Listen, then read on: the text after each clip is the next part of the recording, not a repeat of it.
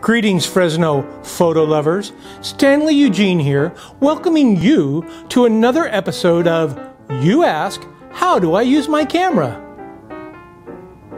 This episode is about Canon.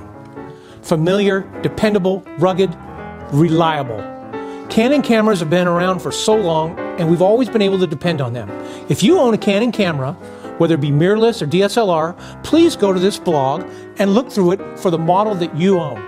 Jan Flanagan, our education manager, has compiled some fantastic how to videos about each Canon model that we sell at Horn Photo. Take your time, find the video that fits to you, have a watch, and enjoy your Canon camera.